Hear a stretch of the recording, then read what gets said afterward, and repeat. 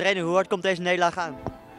Ja, lijkt me logisch heel hard hè. Dus, uh, en terechte nederlaag ook. Zeg, we waren vanaf uh, minuut 1 waren we ja, niet bij de les.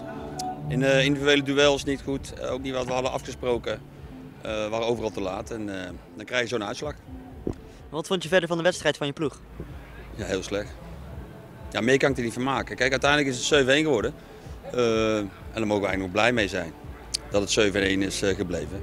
Ik denk als uh, Scherpen zelf wat scherper was geweest, had het misschien ook wel 10-1 of 10-2 kunnen zijn. En wat moet er dan beter?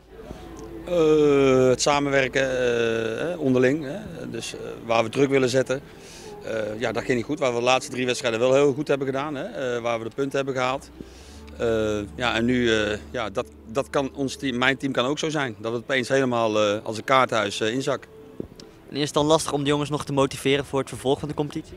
Ja, kijk, weet je, je moet al door blijven gaan. Je moet ze blijven motiveren. En, dus daar gaan we ook gewoon mee door. Dus, en ik weet dat mijn team ook beter kan. Alleen dit was wel een ja, zware teleurstelling dit.